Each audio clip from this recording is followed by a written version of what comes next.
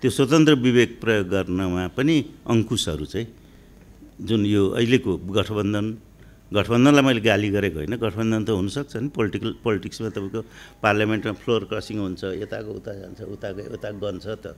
तर त्यो pre voting चाहिँ नि प्रि इलेक्सनको गठबन्धनले गर्दा चाहिँ त्यो यिनीहरू बाध्य पनि पो फेरि डिक्टेरेसन गर्नु पोलिटिकल पार्टिजहरूले।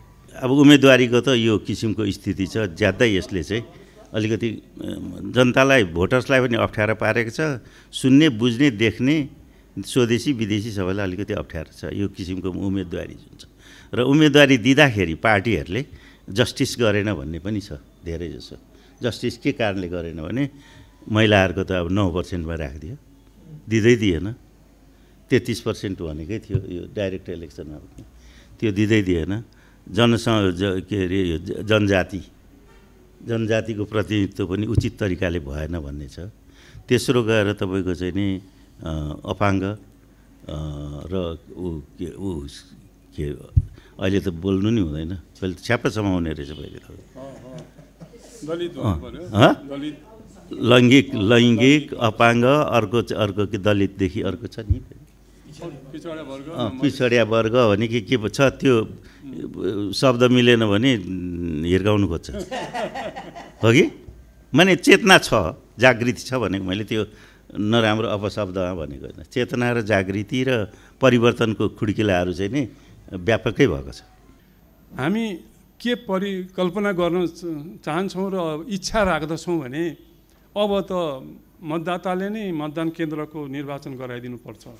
मतदाताले नै मतदाता मध्येबाट चाहिँ कर्मचारी मतदान अफिसर र मतदान अफिसमा काम गर्ने सात आठजना जति चाहिने हो त्यहीँबाट चाहिँ छानेर त्यहीँ तालिम दिएर गर्नुपर्छ। कैयौँ देशमा त्यो गर्ने चलन पनि छ।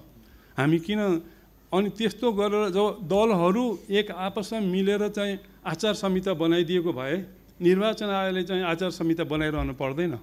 दलहरूले नै हो बनाउनु पर्ने आचार संहिता। दलहरूका बिचमा सहमति गरेर आफैले आचार संहिता गराउने कुनै अर्कोले चाहिँ त्यो आचार संहिता जुन कोड अफ कन्डक्ट उसले चाहिँ पालना गर्दैन। त्यति बेला चाहिँ अर्को पार्टीले चाहिँ उसलाई चाहिँ सजग गराएर कारवाहीको प्रक्रियाकोमा चाहिँ सम्बन्धित निकायमा कारवाहीमा पठाउनु पर्ने स्थिति हो। त्यसरी गर्नुपर्छ। आचार संहिता पनि दलहरूले आफै निर्माण गर्नुपर्ने हो। त्यो पनि निर्वाचन आयोगले बनाइसकेपछि त्यसमा पनि सहमति नगर्ने त्यसमाथि पनि फेरि त्यहाँ भागेर हिँड्ने अथवा मान मान्छु भनेर सही गर्ने फेरि चाहिँ बाहिर गइसकेपछि फेरि त्यो आचार संहिता हामीले एकातिर लत्याएर चाहिँ काम गर्ने। हाम्रो निर्वाचन थुप्रै कुराहरू छन्। हाम्रो निर्वाचन प्रणाली प्रक्रिया विधि प्रविधिका यी चारवटा कुरा म बारम्बार गरिरहन्छु।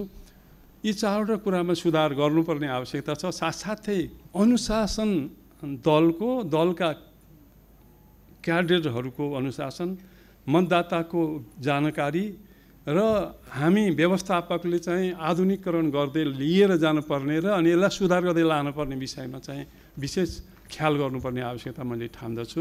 यो चाहिँ किसिमको विकृति र विसङ्गतिपूर्ण काम भइरहेको छ। हामीहरूले चाहिँ यही सिस्टमलाई यही प्रणालीलाई यही प्रक्रियालाई यही विधिलाई हामीले निरन्तरता दिने कि यसलाई सुधार गर्नलाई चाहिँ अलि आमूल सुधारतिर पनि विचार गर्ने हो।